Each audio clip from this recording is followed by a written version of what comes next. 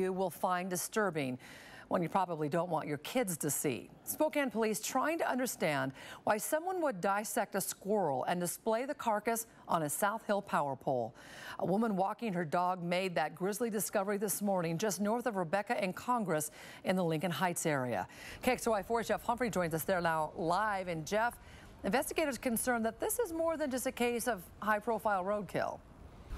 Nadine, this poor little squirrel was cut open like someone had given it an autopsy. There were no obvious signs of other injuries like it had been run over by a car or shot. And given the way that it was tacked up on this power pole, police are worried that this incident may be something a lot more sinister than a late night prank.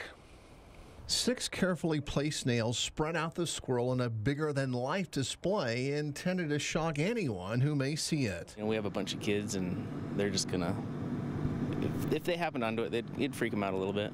Not only was a squirrel stretched out like a drying pelt, but someone had surgically removed all the skin on its belly. The culprit had put a lot of time into their ghoulish project. That took uh, some effort, some um, some planning, and took some uh, significant steps to make it known what they planned on doing with this squirrel. So. Spokane police don't think graffiti on the pole makes this a gang-related incident. They are concerned that whoever did this to the squirrel has some serious mental issues that could lead to something worse. This is uh, could be a foretelling of something uh, a distant future where people could get hurt, and um, yeah, this is extremely um, concerning to us. So now crime analysts are comparing this incident to any other reports of suspicious or sadistic activity in the area.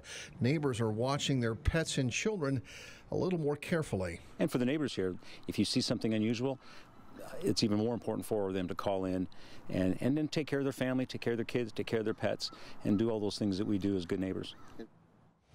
And Nadine, that squirrel might still be here on display, except when the captain arrived on scene, he had taken the precaution of getting a hammer out of his desk, brought it here, took down the squirrel with the nails in it uh, before kids got out of school and had to see it. Reporting live on the South Hill, Jeff Humphrey, KXLY 4.